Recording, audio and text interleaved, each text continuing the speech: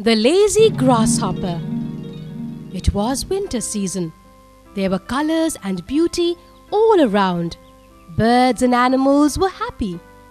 They had fine weather to enjoy and lot of food to eat. One day, a grasshopper was happily sitting on a leaf and humming a melodious tune. He was observing some ants collecting eatables for their. Each of them was busy in carrying the grains to their homes and storing them.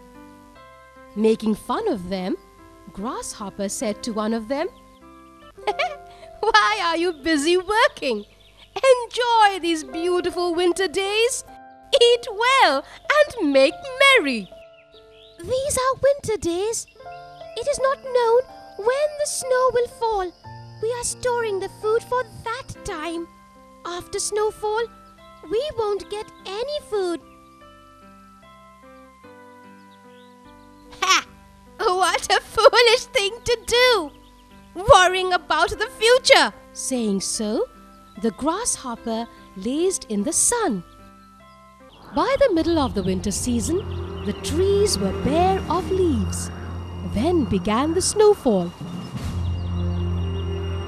Insects went underground and the birds flew to the south. Animals were not around. The grasshopper found nothing to eat. No one came out due to the cold. The grasshopper went to the ant and asked for some food.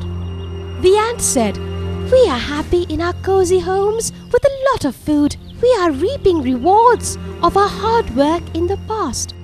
You were happy being lazy and singing in the sun. Why don't you sing now? Go away.